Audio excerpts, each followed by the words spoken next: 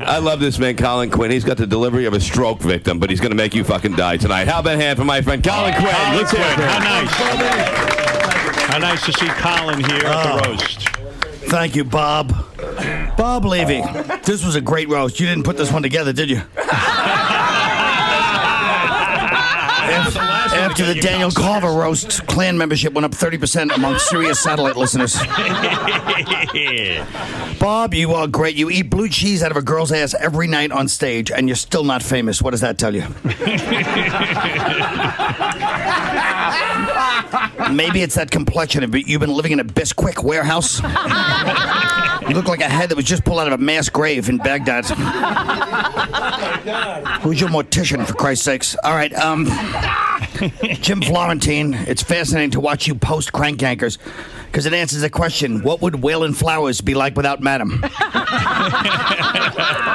Called you pedo. Your career's over. Can I buy you a fucking Hummel or something? Jesus.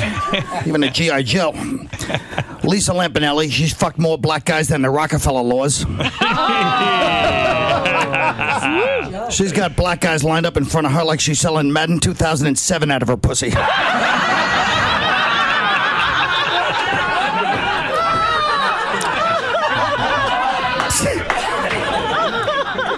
Black, black guys shoot into her like she's a nightclub with a no sneakers policy.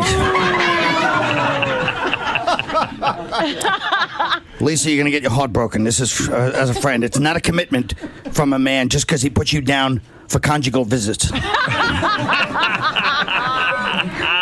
Her idea of speed dating is getting fingered before the CO looks over.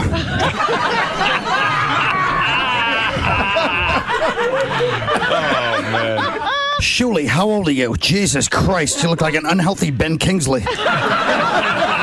Except you wouldn't survive the first cut at Auschwitz.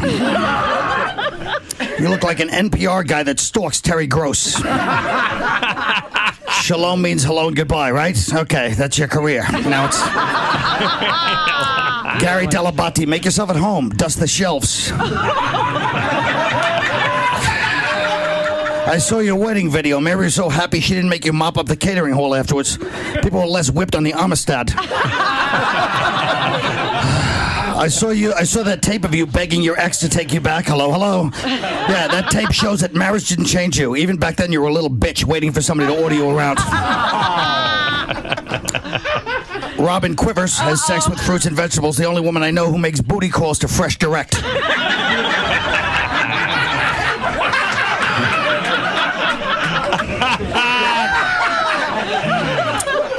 How about Fred? He looks like a retarded Gary Oldman. looks like the maitre d' at a meth lab from the 70s, for Christ's sakes. But then you got Yucko the clown, a bitter clown that tells dirty jokes. That's original. What's the matter? I couldn't get your head around the wrestler in the tutu concept. the air horn takes it to another level. I hope you suffocate to death with 20 of your friends in one of those smashed in cars. and your face is mushed against the windshield with your clown makeup all smeared. Speaking of clown makeup, Richard Christy, that's a nice uh, complexion you got, that rosacea. and he jerks off in a toy box with his red face like Jack in the Box. You look like a horror movie doll. Why don't uh, you and Jim Florentine uh, team up? Uh, you know. Oops. Speaking of uh, face cream, what about Sal the stockbroker? what a creep. Do you wear that so you think it covers up your unhealthy obsession with Howard? you look like a fucking Bollywood movie star. you look like a magician on the love boat. Yeah. Where do you keep that cream in the shed you're building for when Howard leaves the show? You stalking fuck. I heard him once say he wishes there were a million Howards. Yeah, that's why you bought the wood chipper. But at least we're safe here tonight with Ronnie. Ronnie, I tell you, you have a Napoleonic complex, only Napoleon was taller. No. You don't look like a bodyguard. You look like a trophy for best bodyguard.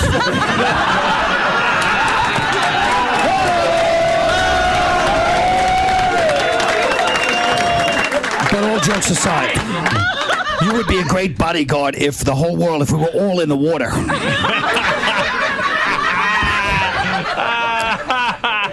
But you know that show you do, actually that good show where you interview the scores girls is really kind of start the fucking car. All right, anyway. um, But Howard, I listen to you every day on satellite. Why don't you say how great it feels to be able to say whatever you want one more fucking time? Jesus Christ. After all 23 years of being oppressed, okay, you weren't Nelson Mandela. Get over it. Hey, I never was happy. Really? We feel like fucking idiots then laughing at the show for 23 years. You were never fucking happy. Yeah, thank God you got, broke free so you're not censored while you analyze Taylor Hicks saying living for the silly, you faggot. All right, the roast is over. Everyone out of I here think- right now. I think I think Gary hired that homeless guy to attack you so you'd have something to talk about on Monday besides Dancing with the Stars.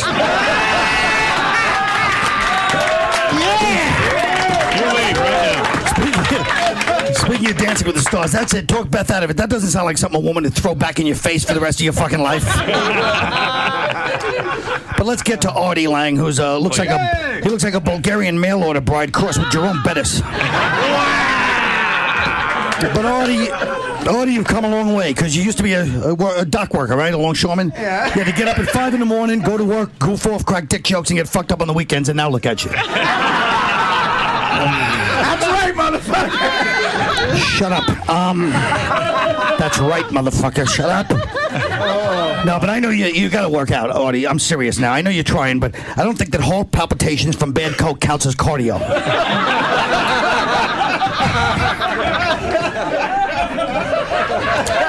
I know you're a big sports fan too. I found out you're 116th Indian, so it runs in the family. Nice to know your great grandmother was fucking Jim Thorpe for good seats at the Oklahoma game.